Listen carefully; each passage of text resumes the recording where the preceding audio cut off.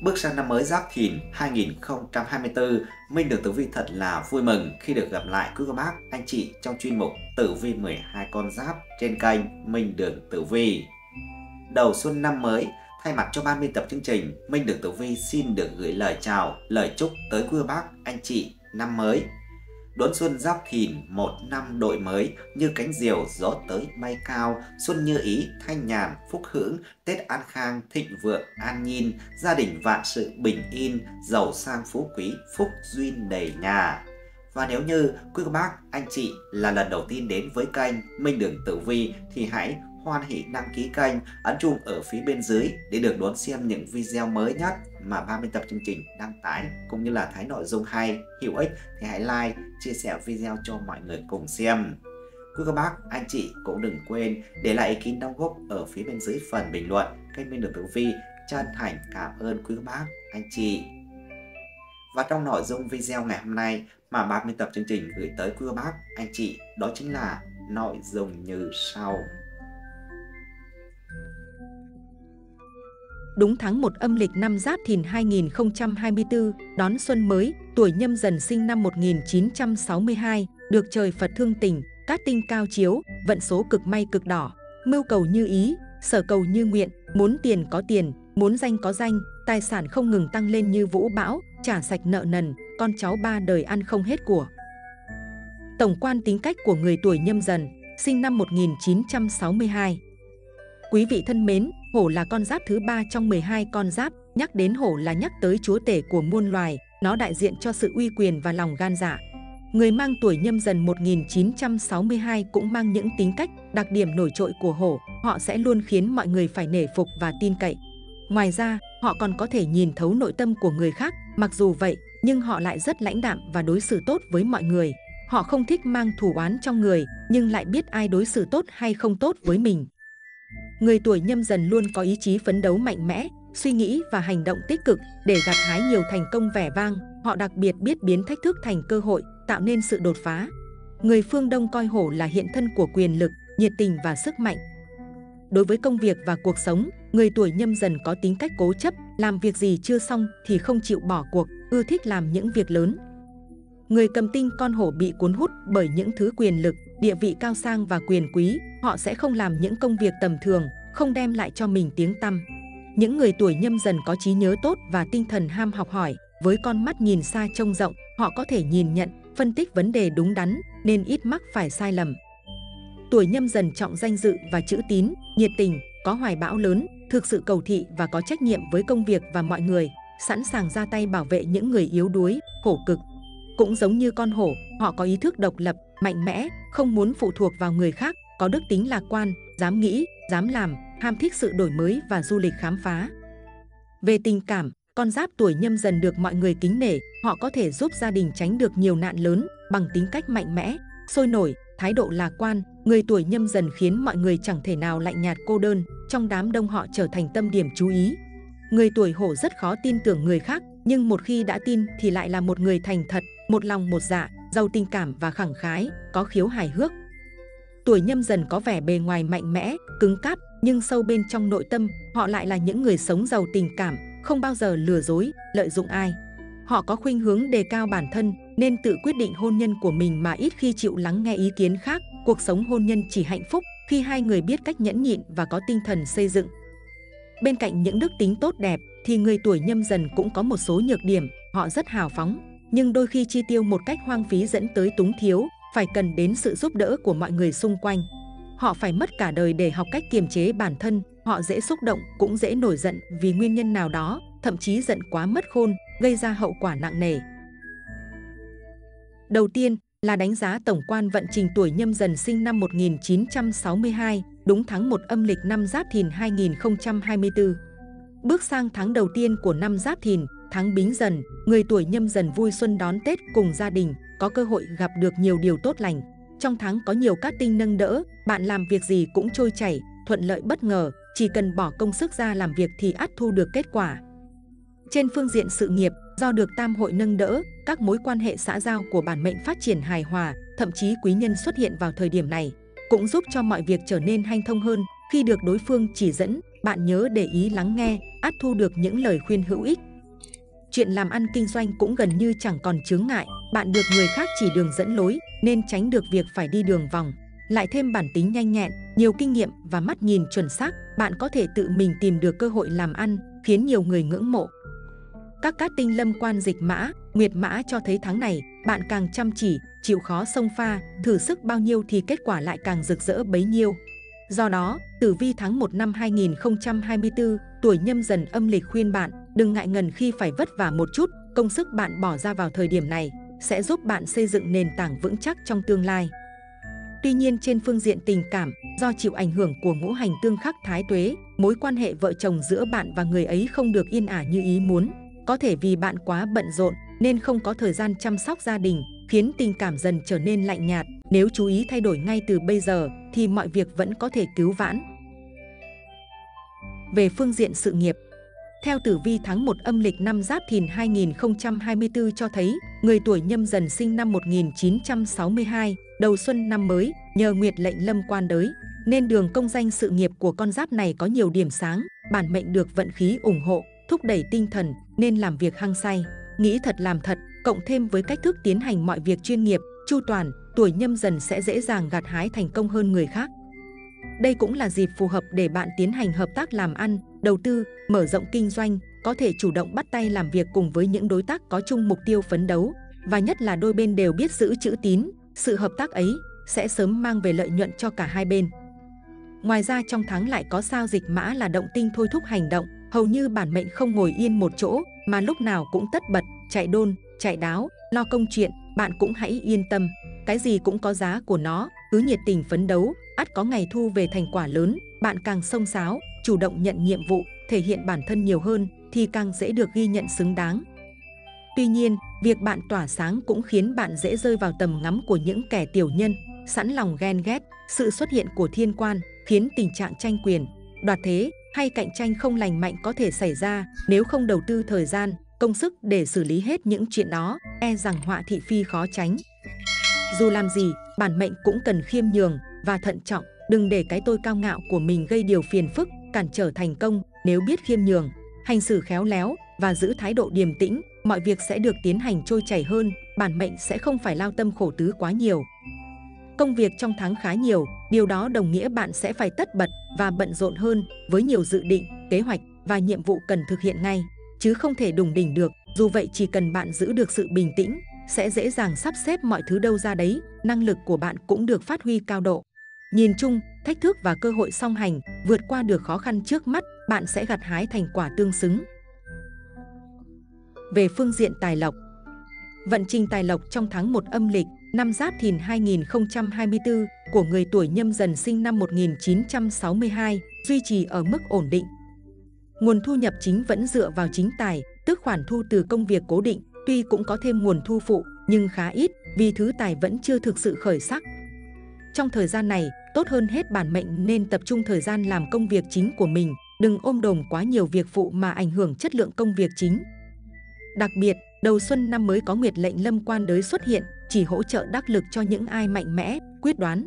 Người do dự để chuyện tình cảm chi phối vào việc làm ăn, sẽ khó đạt được những gì mong muốn. Ngoài ra bạn cũng nên dành thêm thời gian để học hỏi, tìm tòi sâu kiến thức nhằm nâng cao chuyên môn, rất có lợi cho con đường phát triển sự nghiệp cũng như làm giàu của bạn. Trong tháng, người tuổi nhâm dần sinh năm 1962 vẫn có được tài lộc về kinh doanh, buôn bán hay đầu tư, song đó chỉ mang tính tiểu cát. Nếu không có kế hoạch tài chính hợp lý, e rằng thu không đủ chi, nhiều việc bị ảnh hưởng khi nguồn tiền không vững vàng. Nhìn chung, với cách chi tiêu cân đối, tuổi nhâm dần sinh năm 1962, bạn vẫn có đồng ra, đồng vào, không lo túng thiếu, có điều dịch mã khiến bạn có thể phải đi lại nhiều trong tháng, đầu xuân năm mới, giao lưu, tiệc tùng, duy trì mối quan hệ để giải quyết công việc là khó tránh, nên chi phí cũng không nhỏ. Bạn cần tự nhắc nhở bản thân, luôn tuân thủ kế hoạch tiết kiệm mà mình đã đặt ra. Có thể con giáp này không mấy thoải mái với việc phải dịch chuyển thường xuyên, nhưng nếu đó là điều cần thiết cho việc làm ăn, thì đừng ngần ngại, thử thách bản thân nhiều hơn. Nếu bạn hoạt bát, thể hiện được khả năng tính toán và phát huy bản tính, cần cù, cẩn thận của mình, rất có thể tháng sau bạn sẽ nhận được khoản thu kha khá dành cho nỗ lực trong tháng này của mình nhé.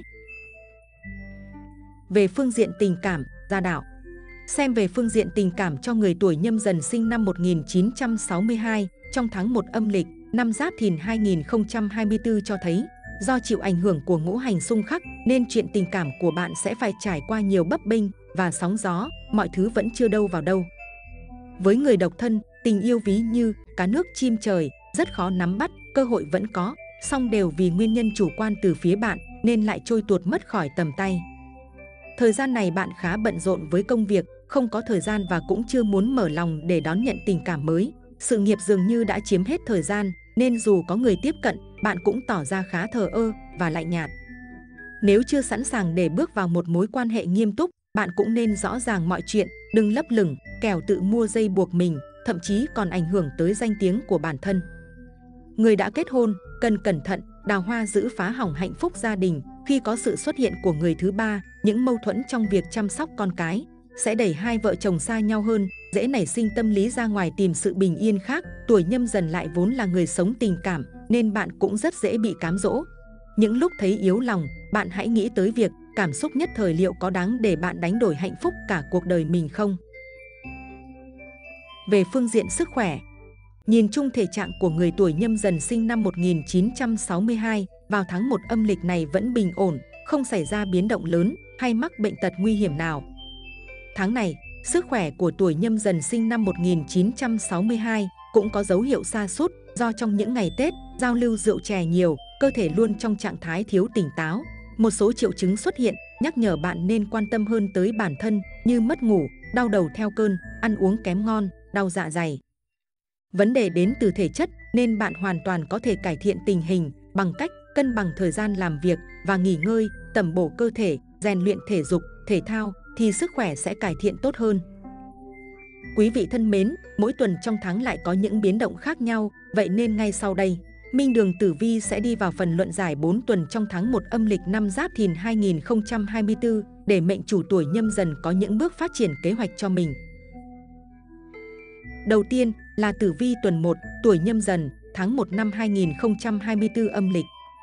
Tuần này được các tinh Thái Dương hậu thuẫn, công danh sự nghiệp của người tuổi nhâm dần đang trên đà thăng tiến. Vận khí khởi sắc, bạn có thể nhanh chóng vượt qua nhiều thử thách, hoàn thành xuất sắc nhiệm vụ, băng băng tiến tới bước mục tiêu đã định. Nhìn chung tuần này bạn sẽ gặt hái được nhiều thành công nên đừng lơ là. Đường tài lộc của tuổi này cũng rất rộng mở, kinh doanh buôn bán thuận lợi, mọi chuyện suôn sẻ tới bất ngờ. Chính sự nhạy bén của bạn là bí quyết thành công trong công việc và mang tới thành tựu đáng mừng. Nếu biết chi tiêu vừa phải, bạn hoàn toàn có thể yên tâm với mức thu nhập hiện tại. Chuyện tình cảm của các cặp đôi cũng đang vô cùng ngọt ngào, sự nhẹ nhàng, tinh tế trong cách quan tâm, chăm sóc của bạn khiến người ấy không thể rời khỏi bạn. Bạn thực sự hài lòng với chuyện tình cảm ở thời điểm hiện tại của mình. Người độc thân có thể sẽ được giới thiệu, mai mối cho đối tượng khác giới, thế nhưng bản mệnh chưa thực sự nhiệt tình với một mối quan hệ nghiêm túc ở thời điểm này, nên thái độ khá hờ hững. Nhưng nếu như bạn đã có ý định gặp gỡ đối phương, thì nên có sự chân thành để thể hiện sự tôn trọng tối thiểu dành cho nhau. Tử vi tuần 2, tuổi nhâm dần, tháng 1 năm 2024 âm lịch. Hung tinh thái tuế chiếu mệnh, người tuổi nhâm dần phải trải qua không ít khó khăn và thử thách. Thời điểm này nếu không làm việc một cách kín kẽ và cẩn thận, bạn sẽ phải rất vất vả để kiểm soát tình hình. Lại thêm kẻ tiểu nhân liên tiếp gây chuyện thị phi nên bản mệnh khó lòng được yên ổn. Sự nghiệp trong tuần có nhiều biến động và thăng trầm, bạn loay hoay tìm cách khắc phục nhưng mọi chuyện vốn không hề đơn giản. Cho đến thời điểm giữa tuần trở đi thì tuổi này mới lấy lại được thế cân bằng. Nếu có thể giữ được tâm lý vững vàng thì bạn sẽ sớm vượt qua tất cả. Đường tài lộc nhìn chung là tương đối ổn định, thế nhưng vẫn có nguy cơ mất tiền, mất của. Dù con giáp này đã kiếm được không ít tiền bằng khả năng của bản thân, thế nhưng cũng chẳng thể giữ được trong tay. Nguyên nhân là do bạn quá cả tin, nghe theo những lời dụ dỗ đường mật mà dốc tiền bạc đầu tư vào những nơi không đáng tin cậy, nên cuối cùng là tiền mất, tật mang. Vận trình tình cảm khá ảm đạm, mối quan hệ vẫn dậm chân tại chỗ, không có tiến triển, mối quan hệ của bản mệnh và người ấy đang ngày càng xa cách, chẳng còn gắn kết như xưa, dù là đang ở bên nhau, nhưng không thực sự có được niềm vui ở đối phương, trái tim cũng chẳng hướng về nhau. Tử vi tuần 3, tuổi nhâm dần, tháng 1 năm 2024 âm lịch. Đây được dự báo không phải là một tuần may mắn đối với người tuổi nhâm dần, do chịu tác động của hung tinh thiên cầu.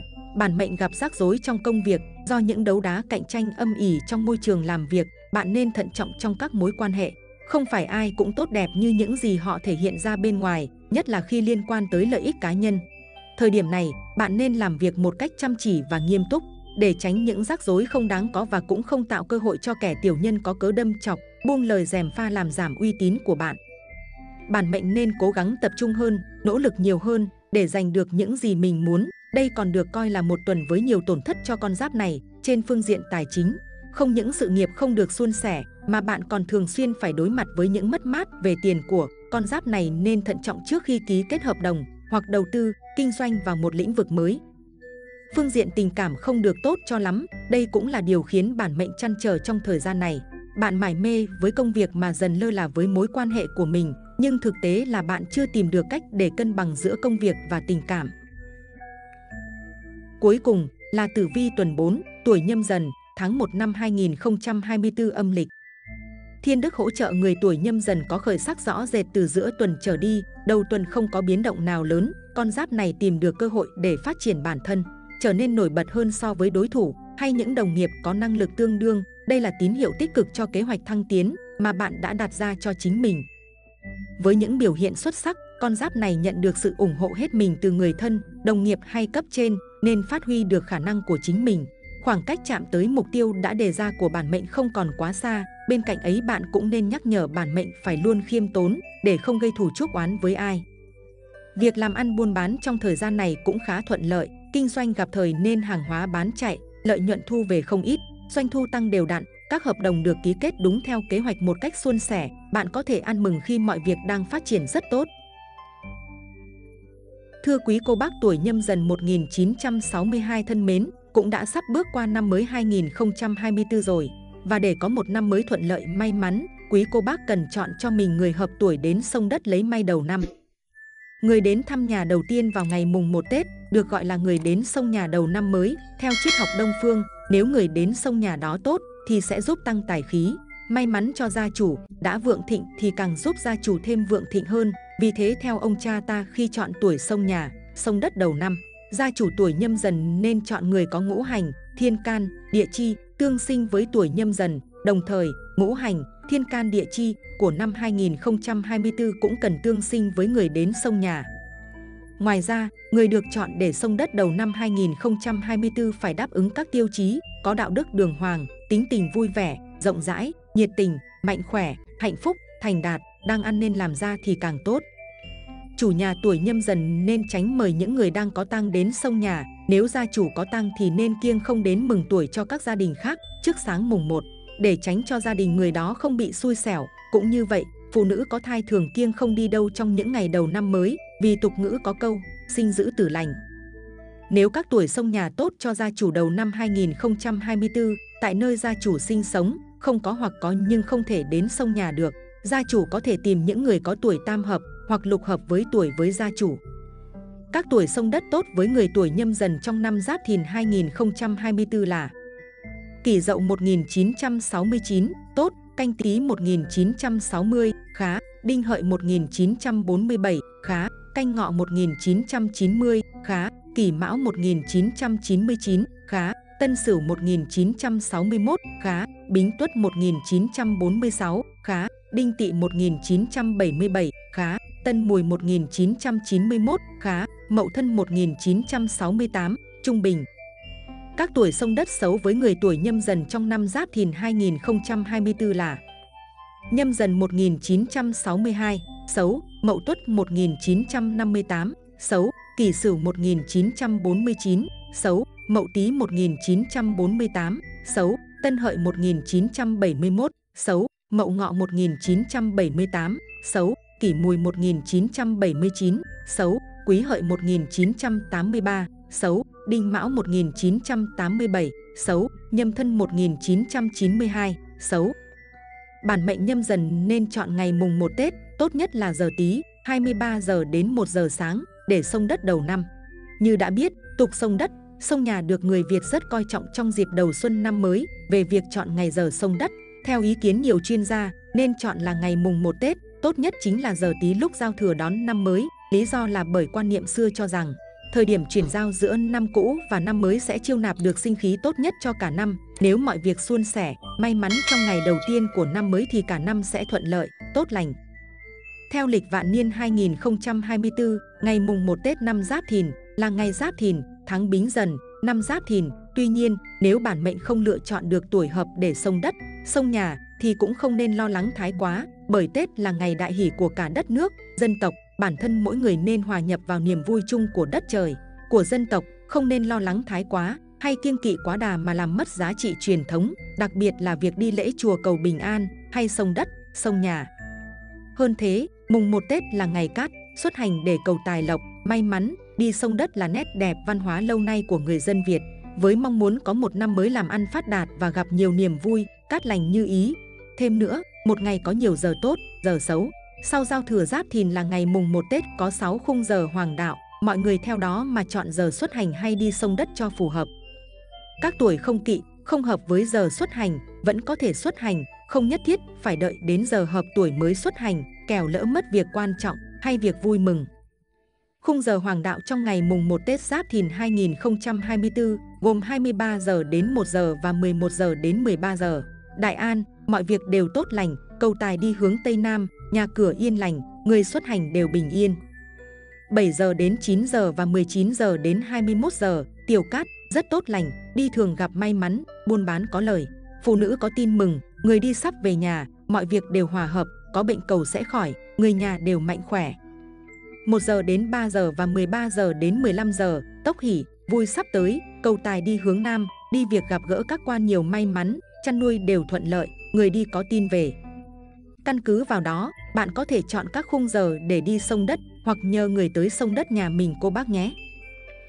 Bản mệnh tuổi nhâm dần nên chọn ngày mùng 1 Tết, tốt nhất là giờ tí, từ giao thừa đến 1 giờ sáng để sông đất đầu năm. Như đã biết, tục sông đất, sông nhà được người Việt rất coi trọng trong dịp đầu xuân năm mới về việc chọn ngày giờ sông đất. Theo ý kiến nhiều chuyên gia, nên chọn là ngày mùng 1 Tết, tốt nhất chính là giờ tí lúc giao thừa đón năm mới, lý do là bởi quan niệm xưa cho rằng thời điểm chuyển giao giữa năm cũ và năm mới sẽ chiêu nạp được sinh khí tốt nhất cho cả năm. Nếu mọi việc suôn sẻ, may mắn trong ngày đầu tiên của năm mới thì cả năm sẽ thuận lợi, tốt lành. Theo lịch vạn niên 2024, ngày mùng 1 Tết năm Giáp Thìn là ngày Giáp Thìn, tháng Bính Dần, năm Giáp Thìn. Tuy nhiên, nếu bản mệnh không lựa chọn được tuổi hợp để sông đất, sông nhà thì cũng không nên lo lắng thái quá, bởi Tết là ngày đại hỷ của cả đất nước, dân tộc, bản thân mỗi người nên hòa nhập vào niềm vui chung của đất trời, của dân tộc, không nên lo lắng thái quá hay kiêng kỵ quá đà mà làm mất giá trị truyền thống, đặc biệt là việc đi lễ chùa cầu bình an hay sông đất, sông nhà. Hơn thế, mùng 1 Tết là ngày cát, xuất hành để cầu tài lộc, may mắn, đi sông đất là nét đẹp văn hóa lâu nay của người dân Việt, với mong muốn có một năm mới làm ăn phát đạt và gặp nhiều niềm vui, cát lành như ý. Thêm nữa, một ngày có nhiều giờ tốt, giờ xấu. Sau giao thừa giáp thìn là ngày mùng 1 Tết có 6 khung giờ hoàng đạo, mọi người theo đó mà chọn giờ xuất hành hay đi sông đất cho phù hợp. Các tuổi không kỵ, không hợp với giờ xuất hành, vẫn có thể xuất hành, không nhất thiết phải đợi đến giờ hợp tuổi mới xuất hành, kẻo lỡ mất việc quan trọng hay việc vui mừng. Khung giờ hoàng đạo trong ngày mùng 1 Tết Giáp Thìn 2024 gồm 23 giờ đến 1 giờ và 11 giờ đến 13 giờ. Đại An, mọi việc đều tốt lành, cầu tài đi hướng Tây Nam, nhà cửa yên lành, người xuất hành đều bình yên. 7 giờ đến 9 giờ và 19 giờ đến 21 giờ, tiểu cát, rất tốt lành, đi thường gặp may mắn, buôn bán có lời. Phụ nữ có tin mừng, người đi sắp về nhà, mọi việc đều hòa hợp, có bệnh cầu sẽ khỏi, người nhà đều mạnh khỏe. 1 giờ đến 3 giờ và 13 giờ đến 15 giờ, tốc hỷ vui sắp tới, cầu tài đi hướng Nam, đi việc gặp gỡ các quan nhiều may mắn, chăn nuôi đều thuận lợi, người đi có tin về. Căn cứ vào đó, bạn có thể chọn các khung giờ để đi sông đất hoặc nhờ người tới sông đất nhà mình anh chị nhé. Quý vị thân mến, trong tháng sẽ có những ngày khác nhau, tốt cho mọi việc, vậy hãy cùng tìm hiểu xem trong tháng đầu tiên của năm, ngày nào đẹp nhé. Ngày mùng 1 tháng 1 năm 2024 âm lịch, khởi công, tạo tác, việc chi cũng tốt, tốt nhất là cưới gả, trổ cửa, dựng cửa, đào kênh, tháo nước, khai mương, móc giếng, chặt cỏ, phá đất, những việc khác cũng tốt như làm ruộng, nuôi tầm, khai trương, xuất hành, nhập học. Ngày mùng 2 tháng 1 năm 2024 âm lịch, ngày này mang lại sự bình an, yên ổn, thịnh vượng, thành công, may mắn bền vững, trường tồn kéo dài. Ngày Đại An được chọn để tiến hành làm các việc lớn như nhập trạch, động thổ, khai trương, cưới xin, cầu tài, xuất hành, hợp tác làm ăn. Ngày mùng 4 tháng 1 năm 2024 âm lịch, ngày này mang đến những tin vui bất chợt cùng sự tốt lành, may mắn để thu được lợi ích lớn nhất từ ngày tốc hỷ. Bạn nhanh chóng tiến hành các công việc cần làm trong ngày này vào thời điểm sớm, sáng đến trưa, tránh để càng muộn thì cát lợi càng giảm, kém thuận lợi hơn. Ngày mùng 7 tháng 1 năm 2024, ngày này mang lại sự bình an, yên ổn, thịnh vượng, thành công, may mắn, bền vững trường tồn kéo dài. Ngày Đại An được chọn để tiến hành làm các việc lớn như nhập trạch, động thổ, khai trương, cưới xin, cầu tài, xuất hành, hợp tác làm ăn. Ngày mùng 9 tháng 1 năm 2024 âm lịch, khởi công tạo tác việc gì cũng lợi, tốt nhất là xây cất, cưới gả, chôn cất, dọn cỏ, phá đất, gieo trồng, lấy giống. Ngày mùng 10 tháng 1 năm 2024, ngày này mang đến những tin vui bất chợt cùng sự tốt lành may mắn để thu được lợi ích lớn nhất từ ngày tốc hỷ. Bạn nhanh chóng tiến hành các công việc cần làm trong ngày này vào thời điểm sớm, sáng đến trưa, tránh để càng muộn thì các lợi càng giảm, kém thuận lợi hơn. Ngày 11 tháng 1 năm 2024, tạo tác mọi việc đều đặng vinh xương, tấn lợi, hôn nhân cưới gả xanh con quý, công danh khoa cử cao thăng, đỗ đạt. Ngày 12 tháng 1 năm 2024, ngày này mang lại sự bình an, yên ổn, thịnh vượng, thành công, may mắn, bền vững trường tồn kéo dài. Ngày Đại An được chọn để tiến hành làm các việc lớn như nhập trạch, động thổ, khai trương, cưới xin, cầu tài, xuất hành, hợp tác làm ăn. Ngày 15 tháng 1 năm 2024, khởi công tạo tác nhiều việc tốt như xây cất nhà, dựng cửa, trổ cửa, nhập học, đi thuyền, làm thủy lợi, tháo nước, đảo mương.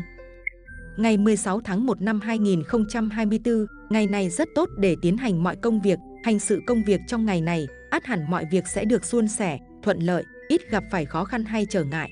Hoặc nếu có khó khăn thì cũng sớm được quý nhân phù trợ, giúp đỡ, nên mọi chuyện cũng trôi chảy, nhẹ nhàng hơn, biến dữ thành lành, biến nguy thành an. Ngày 30 tháng 1 năm 2024, ngày này mang lại sự bình an, yên ổn, thịnh vượng, thành công, may mắn, bền vững trường tồn kéo dài. Ngày Đại An được chọn để tiến hành làm các việc lớn như nhập trạch, động thổ, khai trương, cưới xin, cầu tài, xuất hành, hợp tác làm ăn. Nhân sinh cảm ngộ Sau đây là phần luận giải vô cùng quan trọng cho tuổi nhâm dần, sinh năm 1962. Ở độ tuổi ngoài 60, nếu biết được hai điều này sẽ có được cuộc sống an vui, khỏe mạnh, hạnh phúc viên mãn. Thứ nhất là biết đủ thì an lạc. Bình an là hạnh phúc, biết đủ là phước lành, tâm trong sạch là vận mệnh phước đức, ít ham muốn là trường thọ. Bụng dạ của người trở nên hẹp hòi nếu như chúng ta ham muốn quá nhiều, ngược lại nếu biết tiết chế ham muốn thì tâm lượng sẽ rộng mở. Thà rằng cuộc sống thanh bần mà tự mình vui vẻ, chứ không thể giàu có trong sự bất thiện lo sầu. Chúng ta cần dừng lại những suy nghĩ sâu xa, thay vào đó nên hài lòng trong mọi lúc để có thể nghỉ ngơi một cách thong dong. Không nên ỉ lại vào sức khỏe đang có, phước báu không nên hưởng hết, tiện nghi cũng không nên chiếm dụng quá mức và thông minh cũng không nên tiêu dùng hết. Nước chảy xuyên qua đá không phải là một sức mạnh mà là một quá trình thời gian lâu dài.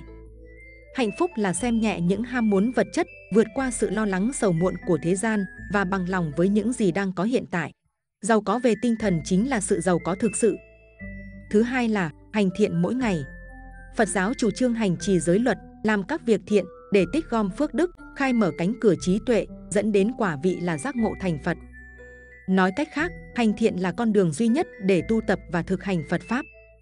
Trong kinh, Đức Phật dạy không làm các việc ác, nên làm các việc lành, đó đích thực là chân lý. Người Phật tử ở thế gian, nhịp sống tương đối nhanh, thường ở trong trạng thái bận rộn. Để tu tập thiện Pháp, chúng ta cần phải tuân theo nguyên tắc hành thiện mỗi ngày, làm như vậy thì công đức vô lượng vô biên. Vì vậy, mỗi ngày làm một việc thiện là một trong những cách tốt nhất để phát triển phước điền. Mỗi ngày hãy làm việc thiện và tích thiện thành đức. Cho nên, người có tâm niệm làm việc thiện và tích đức sẽ không dễ dàng bỏ qua cơ hội tốt lành này. Mặc dù điều đó cần phụ thuộc vào môi trường kinh tế của mỗi cá nhân, nhưng chiều sâu của mọi việc thiện không phải cân đo đong đếm bằng tiền, mà lấy chiều sâu của tâm từ làm tiêu chí. Tâm biểu hiện ra ngoài bằng hành động thiện đó là sự phát tâm. Phát tâm như thế nào? Sự phát tâm từ bi này cũng giống như tâm của Bồ Tát vậy. Tình yêu, sự tin tưởng và lòng biết ơn thực ra không cần theo đuổi hình thức, làm mà không nói, nhìn thấu từ những việc nhỏ nhặt, hòa tan vào bên trong mọi ý niệm, không vì cuộc sống tương lai, không vì hưởng thọ kết quả, chỉ vì một ý niệm cầu thiện, như vậy là đã có phước báu rồi. Vâng, cảm ơn quý vị đã dành thời gian theo dõi và lắng nghe đến hết luận giải của Minh Đường Tử Vi. Mong rằng những dự báo trên có thể giúp quý vị thật nhiều niềm vui và thành công trong cuộc sống. Minh Đường Tử Vi xin chào tạm biệt và hẹn gặp lại quý vị trong những chương trình tiếp theo.